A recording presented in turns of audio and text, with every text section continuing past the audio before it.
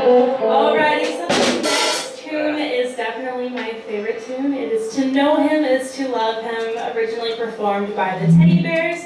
It was Phil Spector's first song, and I have the honor of singing it tonight, so I hope you guys.